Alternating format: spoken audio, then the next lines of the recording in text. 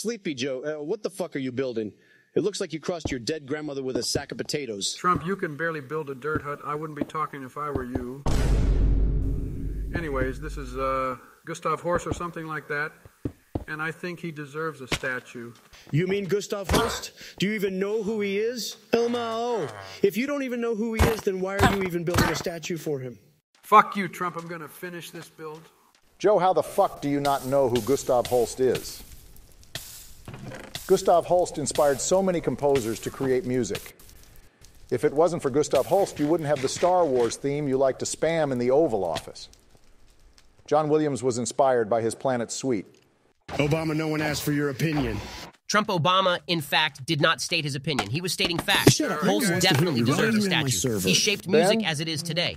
On top of being a goaded composer, Ben, he managed to get into the Royal limit. College Blow of it up, Music I'm in London, dog. as well as Trump, I playing think the Carl Rosa deserves the Opera statue. Company. Don't blow it One of his I, I do not care that who is still Holst is. I'm never letting Joe cook again. This statue looks worse than your wife's school food, entire Barack. symphony for each Playing Minecraft with y'all sucks. I'm going to and go the play personalities Roblox.